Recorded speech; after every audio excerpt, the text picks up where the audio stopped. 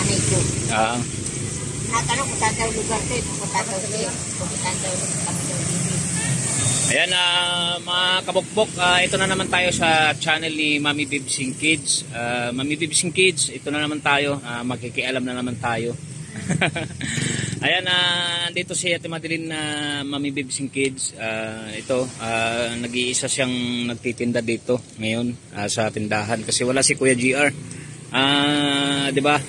Ah, may kinikwento si Ate Madeline na parang ano yun Ate Madeline? Yung ano, parang hindi daw tama daw yung ginagawa niyo daw. Hindi tama yung ginagawa namin. Ah, hayaan mo si Ate Madeline. Sinasabi ba ni Kuya JR yon na hindi tama yung ano? Pati itong tindahan hindi tama.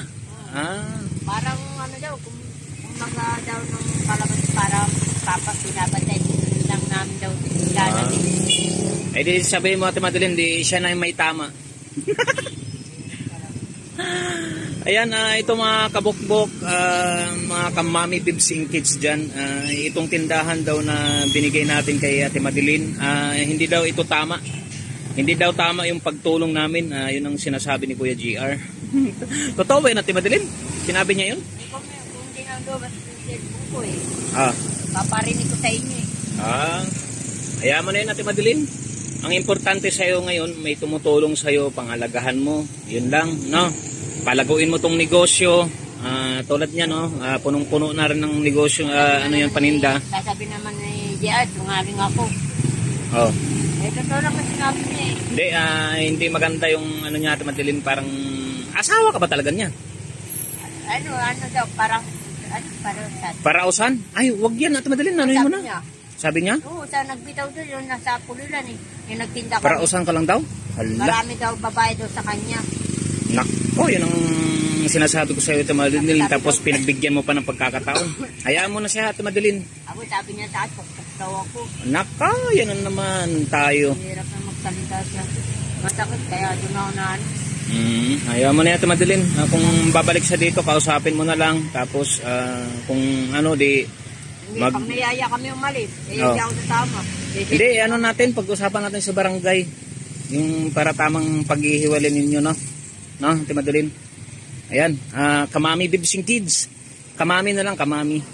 Ayan, ah, malungkot na balita ito dahil, ah, 'di ba? ah, kakatanggap lang ni ni Ate Madeline si Kuya GR, eh ganun na yung ah, naging asta niya. Ano ba nangyari sa mundo? Parang kami ganyan eh. Ah? Marami na nagsasabi din natin Madeline eh, di ba? Hindi naman ano yun, wala na parang wala na sa katinuan. Hmm, mag-ingat na lang Ate Madeline. Malis-alis ka diyan dahil baka diyan mamamatay. Sabi niya, Sabi nung ano, ah, sa pulilan. ah, sabi nung mga tao sa Pulilan. Hmm. Hmm. Sa ano ba nangyari? Ay, nako. Kasama ko sa kanya eh, balurit ang ano, ano. Isa lang naman sinabi ko, dinami pa niya. Oo. Ayan, Ate Madeline, ah, wag mo nang ah, pansinin yun. Ang pansinin mo nila yung pag-aalaga ng bata, di ba? Kung hindi mo naman kayang pa, ah, maalagaan yung mga bata, eh ano mo sa amin doon, no? Oo, ah, iwan mo si Daniel at si mga bata doon sa, sa bahay nila Buslaki, no? Para hindi ka naman mahirapan ah, tulad niyan, di ba? Um, hirap na hirap pa talaga kasi nga ah, imbes na may tutulong sa'yo, Ah, ganun pa yung gagawin, no? Sisingilin pa siya, mag, manin, naniningil pa kung sa pagbabantay dito. Ha? Hindi ko alam kung totoo yan o biro lang. Hindi, eh, masamang biro yun din yun. Eh, si, ma- maniningil siya ng pagbabantay niya rito. Diba? Eh, Hindi, doon sa nga, doon sa pagbili nga natin ng salamin, eh, 'di ba? Ang sabi niya hindi naman hindi naman na akin 'yan. Kaya ate mo 'yan, 'di ba? Sabi. Diba nasalitaan sa'yo dito? Oh. Sabi niya, oy, yung puhunan daw sa, sa atin yan ha. Puhunan. Ayun, Hindi, itong tindahan na binigay namin puhunan sa inyo. Sa inyo naman talaga 'yan. Papalaguin nyo. Nasalitaan siya na hindi maganda. Oh, para pag may tubo, sa inyo rin 'yon. Yung puhunan sa inyo rin 'yan. Bigay yan at Madeline ng sponsor. Ayan mo, pag ano, pag dumating sa, re-report na naman ako Oh. ng check ko pa. Hindi, hayaan mo na yun. Eh, alam naman namin kung ano yung naging, ano, di ba? Ah, naging usapan. Dahil ah, kahit kami, eh, napapansin din namin eh. Di ba? Sabi na, di ba, sabi natin, laki tayong katawan. Sabi Oo. nagtatrabaho. Marami din nagsabi dito na ano no, nagsisilos din. Pinagsisilusan yung dito sa hardware. Ayan lang. Tapos kami pinagsisilusan din. Si Boss Lucky.